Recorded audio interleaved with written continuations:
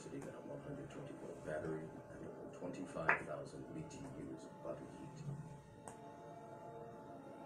Combined with a form of fusion, the machines had found all the energy they would ever need.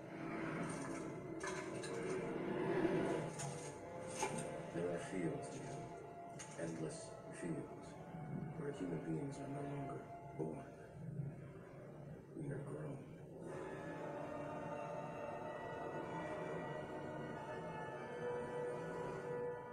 Longest time, I wouldn't believe it. And then I saw the fields with my own eyes. Watched them liquefy the dead so they could be fed intravenously to the living. And standing there, facing the pure, horrifying precision, I came to realize the obviousness of the truth. What is the Matrix? Control. The Matrix is a computer generated dreamland built to keep us under control in order to change a human being into this. No. I don't believe it. It's not possible. I didn't say it would be easy. I just said it would be the truth. Stop. The human body generates more bioelectricity Greetings, my wonderful Facebook family. This is your main man and your best friend, Johnny Cash. And yes, we are live.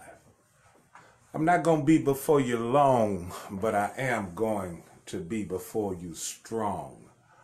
The title of tonight's broadcast is To Serve Man. Want to start off with some shout outs. Shout out to Tara G. Thank you for chiming in. Great to see you.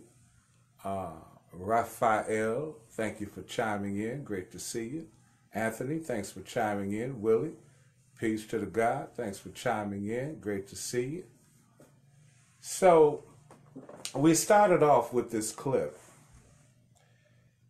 and it lays the foundation for what is on my heart and mind to share with everyone tonight. We're talking about to serve man.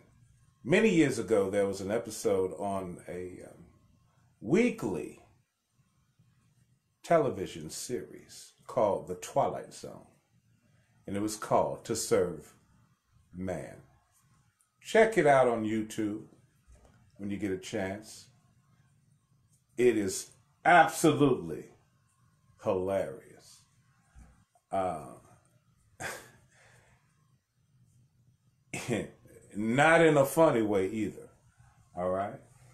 Okay, now watch this. I hear a lot of people talking about we're slaves, we're slaves, we're slaves.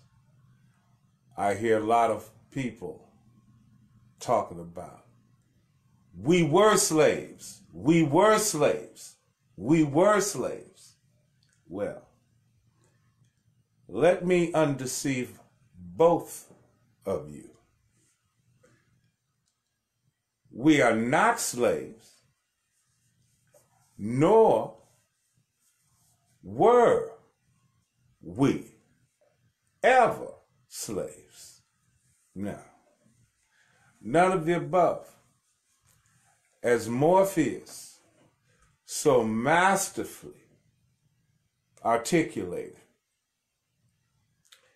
and to build up to the punchline, let me just say that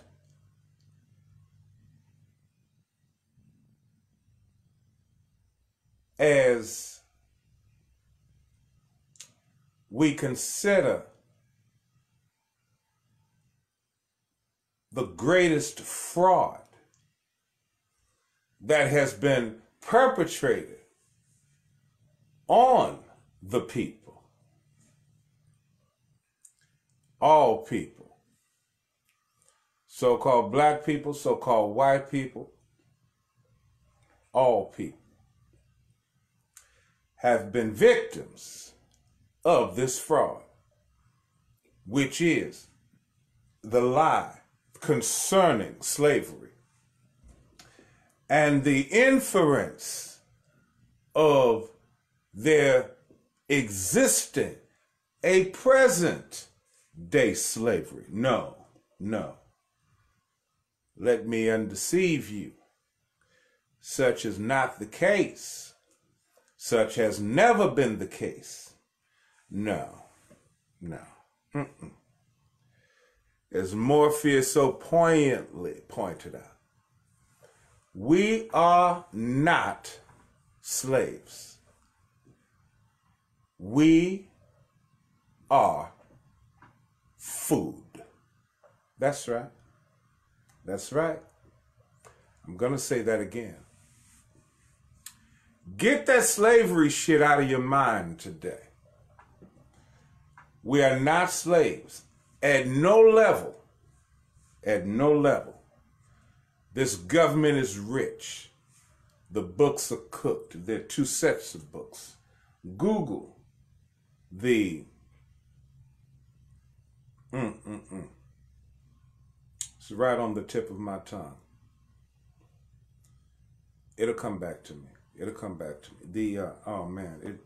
You know how there may be a little mouse in the house and he'll peep his head out from behind the wash machine and then jump back when he sees that you're looking. That that's how that thought just did. It, it, it peeped out, then it, it jumped back. The, it just did it again. The CAFR reports. There we go. the CAFR reports. Google that. The CAFR reports. Say how you spell it. Use your phonetics. You just type it in Google. Google correct it for you, right? Okay. The CAFR report. That is proof that there are double a double set of accounting records at the national level and at the state level. There is no, let me put it this way. There is no real debt. the government is rich. The states are rich. They are lying to the public. They are giving the public data from a different accounting ledger than that ledger which reflects the true bottom line vis-a-vis the the financial uh, status of the government, federal and state. All right. This information is called the CAFR reports. Check it out for yourself. Okay? So it's on the strength of the knowledge of the CAFR reports that we know that the government, federal or state, neither federal nor state, are broke, but rather are in the black, the deep black with respect to their financial, economic wherewithal and capacity. Right? So get it out of your mind that they need slaves in order to fund and advance their agenda. They don't need slaves. That's that's just game. Peep game tonight, people. Peep game tonight. Johnny Cash is gonna lace you with so much so much game. The ladies are going to ask the brother to change their name. Listen to me now. I'm giving you news that you can use. All right? Okay, now. So, uh, Karen, thanks for chiming in. Martisha, great to see you. Thank you so much for chiming in with us. All right, then. So, get it out of your mind that anybody needs slaves. And this is not only in America. Make no mistake. This is international. There is no poverty. It's all a show. It's all a game. It's all a trick to make you believe in the prospect of slavery and that the government has to trick the people into conditions of involuntary servitude. Such ideas can never be farther from the truth. But if you want the truth, Ruth, you're going to get it tonight. Yes, you to learn today. Absolutely. All right then. So let's exercise that idea of slavery, that demon, that devil of slavery to Cleveland someplace. Well, you might be from Cleveland and you might say, don't send that motherfucker here. Okay, fine. Send it somewhere. Don't, okay, don't send it to Cleveland. Send it to the moon. Send it into deep space. All right. But, uh, Get it out of your mind tonight. Get it out of your head tonight. Get it out of your brain tonight because it's a lie. It is a lie. It is, I repeat, a lie. I shared with a friend yesterday that this whole thing, let me rephrase that, backpedal for a minute. I said, um, the government wants the people to believe that in order to take control of the government as the people have the right to do pursuant to the laws by which governments are created.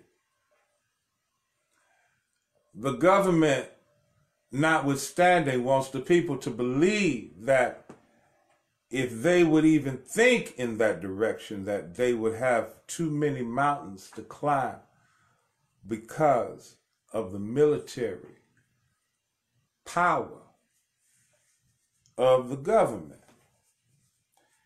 And I told my friend, I said, that's misdirection. It's not even about military. Military is just another smoke and mirrors to keep the public docile and to make them kowtow to the government because the government does not control us using military might. Military might is not the key to our regaining our rightful place of authority in government. No, not at all. And again, it is misdirection that the government is employing in making the people believe that in order to regain their rightful power over government, that they would have to resort to warfare and gunslinging and revert back to the days of the wild, wild west. And uh, such is not the case. Such has never been the case. Well, you say, what is the case, Brother Cash? I'll tell you, just let me do this. You sit on the passenger side, let me drive. Okay. Um, Yehuda, thank you so much for chiming in. My ninja, Michael, great to see you, big brother. Now, what is it that we have to contend with if we would restore our position in government? I'll tell you what it is. the weapon that the government uses to control the people is not military might or the threat of military um, adverse military consequences, but it is education. It is miseducation. It is the strategic utilization of the government's propaganda machine, which is the media. Yes, yes, yes, yes. The media.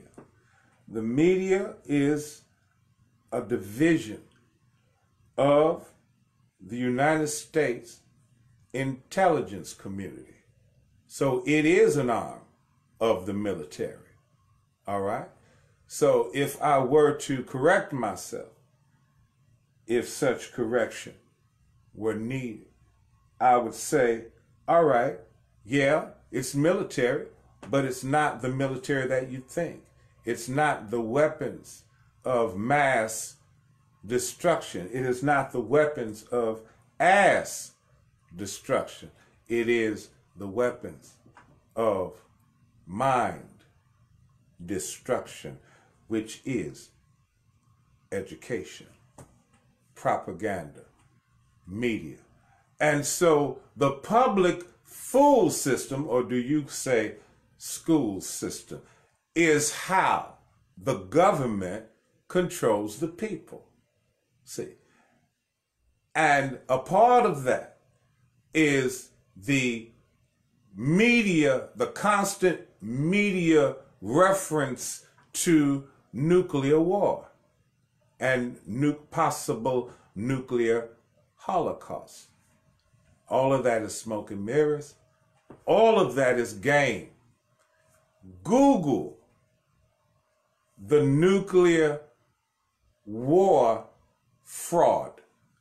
When I say Google, what I what I literally mean by that is go to YouTube and type into the YouTube search engine the nuclear warfare fraud, the atomic bomb fraud, the atom bomb fraud, the A bomb fraud, and listen to all of the nuclear physicists who are weighing in on the fraud that has been perpetrated against the public for the past hmm, 50 or 60 years.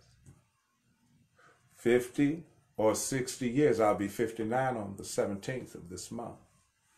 And so um, it was at least 60 years that this fraud has been perpetrated. Right?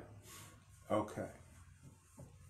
Bottom line is the nature of nuclear bombs or a nuclear weapon is such that you cannot detonate it at your discretion. Nobody can just turn a key or press a button and drop a nuclear bomb. No, no, no.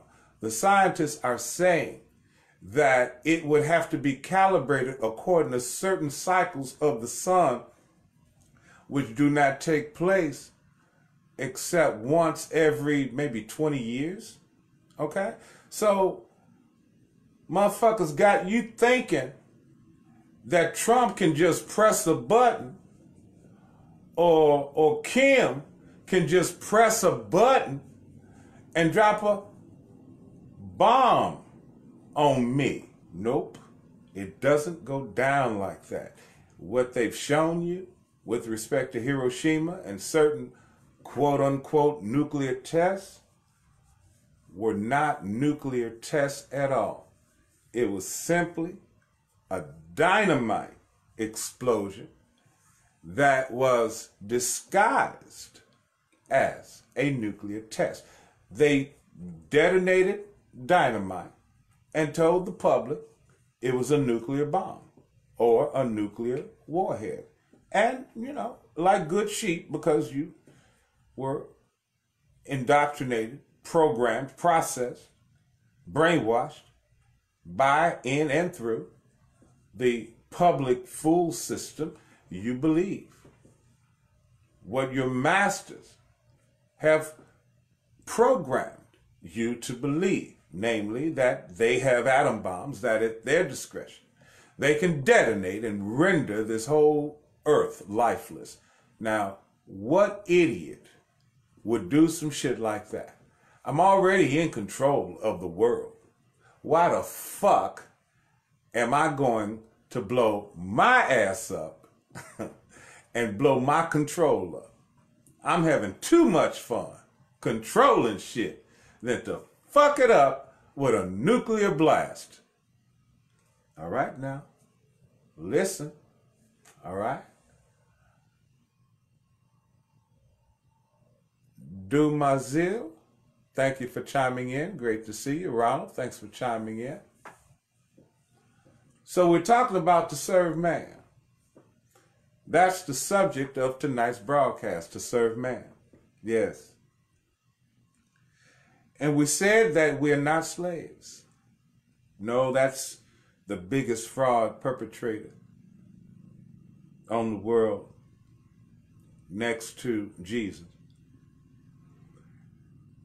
We are not slaves, but rather food. That's what we are for real, for real. We are food. That is a fact. Yes, it is. People coming up missing every day. People being killed in the streets every day. The loved ones of celebrities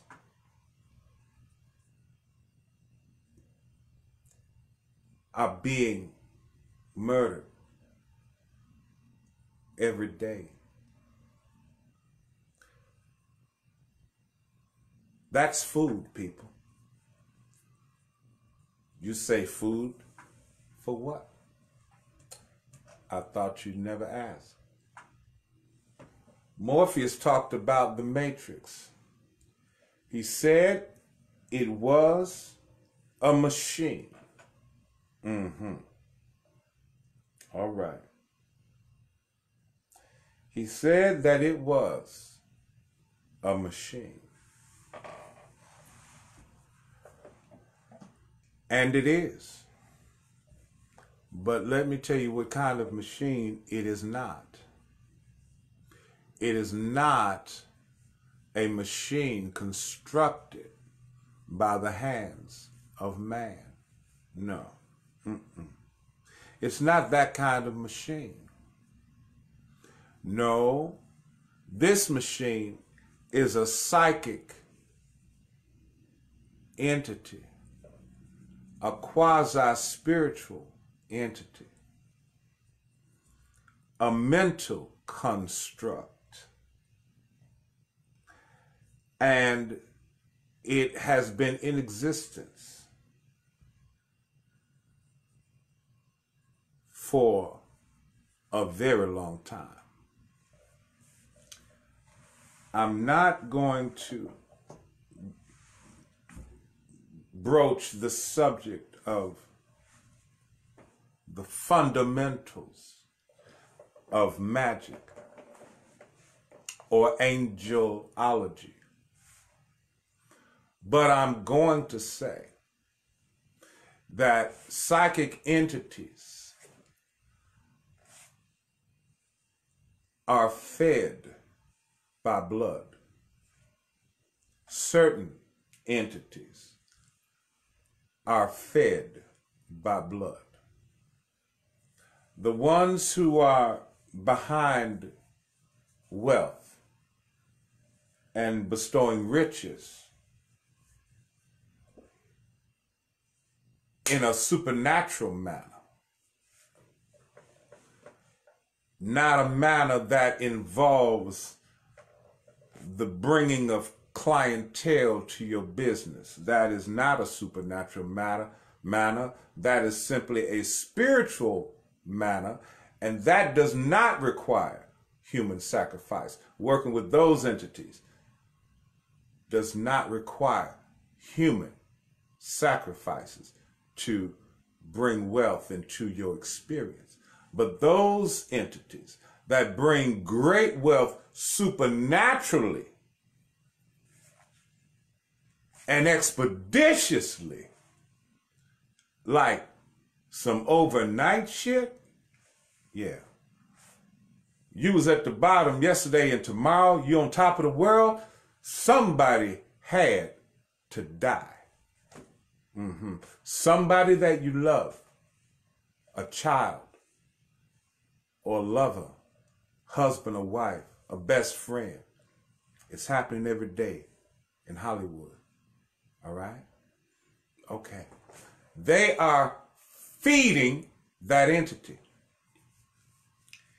And the government gets its power from that same entity. Yes, yes, yes. Mm-hmm. We're talking about the God in whom the government trusts. Yes, that entity. Right? And so those who call themselves citizens are food for that entity.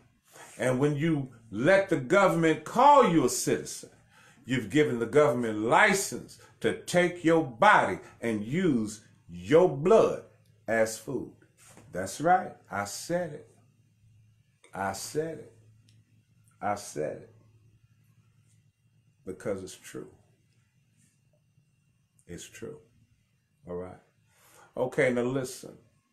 That's basically what I wanted to share with everybody. Oh, this one last thing a call to action, right? You can't give a message without a call to action. What is your call to action, Brother Cash? My call to action is this.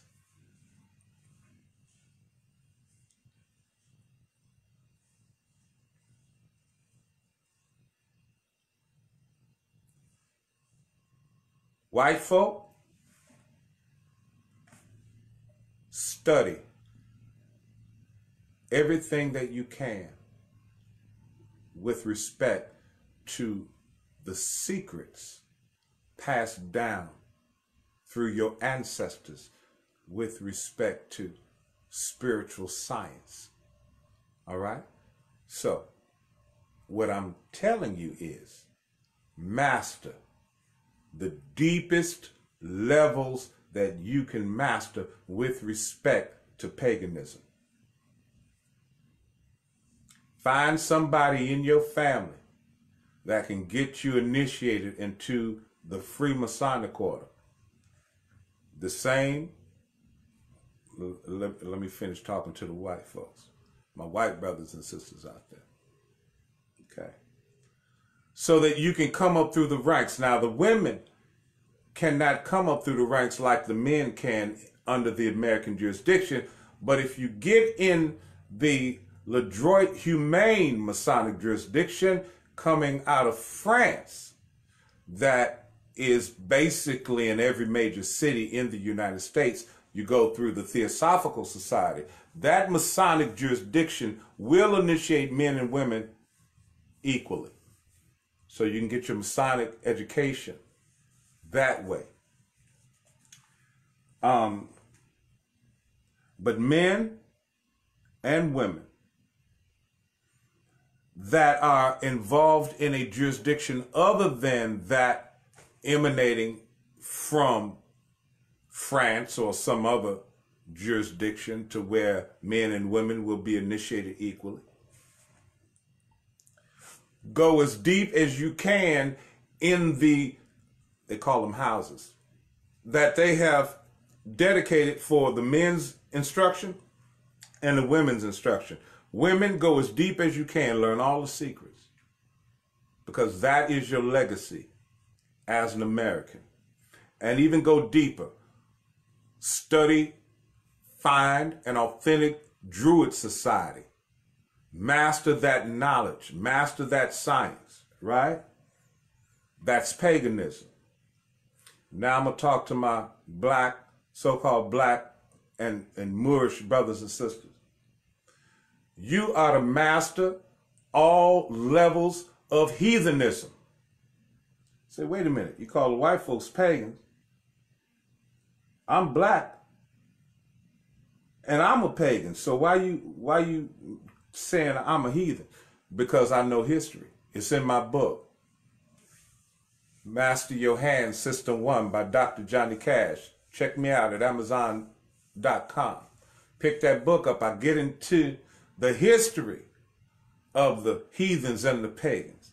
The heathens were the little people in Europe, the little black people, the little Moorish people called the Twa, who migrated into Europe from the southernmost portion of Africa,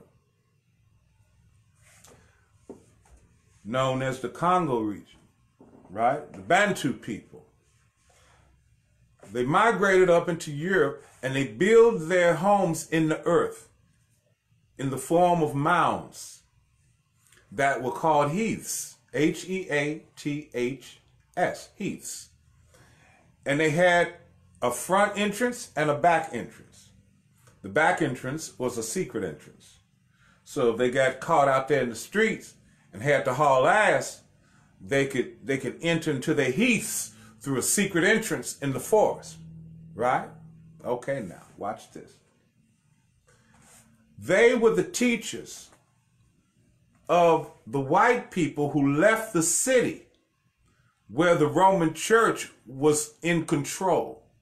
And they did not want to come under the Roman Catholic system of religion. And so, since that was going on in the cities, the white folk, some who didn't want to deal with that, left the cities and moved out into the suburbs, which were called the Pagonas. P A G O N A S. Right? And so the white people who moved out into the Pagonas were called the pagans. The little black people who were their teachers, who lived in the heaths, were called the heathens. And that is why the appropriate terminology for a black person who studies the system of their ancestors is termed a heathen. All of the intelligentsia are aware of this. And white people who remove themselves from religion and only study the laws of nature are called pagans. So my call to action is to advise all white people to take back your tradition. Leave religion on the curb, baby. Kick it out the car and to the curb. Embrace, take back your pagan culture. Yes. Mm-hmm. Black folk Kick religion to the curb, baby. Do a Sankofa move. Turn back and get that which you missed. Your ancient heathen culture. It's not a bad word.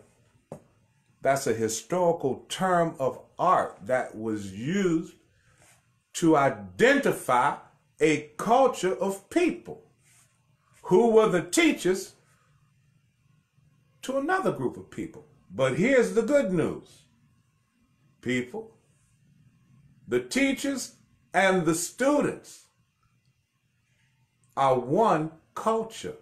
Uh oh. I just gave you the master key to positive race relations. It's not about race, people. It's about culture. Yeah. See, when you're of the same culture, complexion don't matter. The culture defines the nature, not the culture. I'm going to say that again. The culture defines the nature, not the complexion. I'm going to let that soak in on you. Because our enemy is of a anti-culture. That's why their agenda includes and is based on making us food. Fuck that, baby. I ain't nobody's lunch. I ain't nobody's snack. I will put a size 13 in that ass, baby. I ain't gonna be no motherfucker's snack. All right? Ronald, thank you for chiming in. Alan, thank you for chiming in. Lauren, great to see you. Thank you so much for chiming in. That's the key, uh, brothers and sisters. That is the key. That's the key. My brothers and sisters, on the black hand side, do everything in your power to grab back, reach back, grab your culture. Anything that is not religious, but will build you spiritually. Get it. Get initiated in it. Get into the Masonic order. If you got any family members that can get you in there, get you fast tracked, men, get fast tracked up to the 33rd degree because that's when you start learning the real occultism and how to deal with spiritual entities. Once you get that 33rd degree, you're going to be in there like swimwear. Okay? Right? Others of you who have other avenues that you can avail yourselves of, if you know voodoo priests, that will initiate you. If you have to get on a plane and fly somewhere and get initiated, do what you got to do. Do what you got to do, but do it by any means necessary because the war that we're fighting, World War III, it's not going to be like World War World War One. One and uh, World War II. Now, those wars were fought with bombs and bullets. Yeah. This last World War is called in the Bible the War of Armageddon. It is the war between the gods. That's right. That is right. And guess what? The gods are going to be the gods that are fighting are going to be of both races white and black. You say, well, what about yellow people and red people and brown people? At the end of the day, you got white folk and you got black folk. When you break that shit down genetically, it's a yin and yang thing, baby. Don't get it twisted. So, what is my point? My point is that our team this ain't a race war. This is a cultural war, people. Understand that shit tonight. The War of Armageddon is a culture war. It is a war of the people of nature against people of the machines. It is a war between, as I talk about in my book, Master Your Hand System 1 by Johnny Cash, the old world order, which are the heathens and the pagans, versus the new world order, which are your so-called religious people and um, the elite, right? That's the war. And the racial demographic, it's going to be the same on both sides, people. So don't get it twisted. Everybody that look like us ain't for us. I'm talking to white folk and I'm talking to black folk. If you will take your place, your rightful place in the old world order, I will help you get connected to where you can be trained so that you are ready to engage the enemy. You may say, Brother Cash, I've already been trained. I just want to roll with you. Well, God damn it, roll with me. Let's roll, baby. Let's fucking roll and let the good times roll up in this bitch. Carlos, amigo, thank you for chiming in, hombre. Great to see you. Yeah. That's what I'm talking about today. I'm talking about prepping for Armageddon so that we can keep the casualties at a minimum. We know that in any warfare there will be casualties. But every good general makes it a point to keep those casualties at a minimum. Yes. Yes. So I'm calling for generals and soldiers. And I'm calling out to those who, yeah, enough said on that. I covered, I covered that, uh, that point already. So that's it, y'all. It's been a ball. And uh, I'll let everybody advance into the evening. So, review this uh, broadcast. Please like and share it. Leave a comment or two. Yeah. Share your thoughts, ideas. I solicit your prayers, incantations, spiritual work. Every successful leader is not ashamed to ask for the prayers of his people. And so I ask that of you. Because this work is serious, brothers and sisters.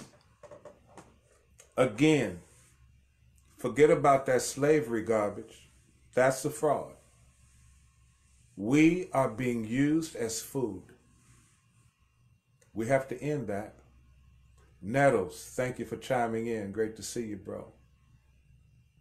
We have to stop that trend dead in its tracks. Prepare for warfare, brothers and sisters. Spiritual war. Know thyself. Master yourself. Know your enemy. Master your enemy. You make a quality decision to do that. And I will absolutely, and yes, ma'am, and yes, sir, I will absolutely see you. And I really do mean you. At the top. Good night, everybody. We'll talk again. I'm out. Peace.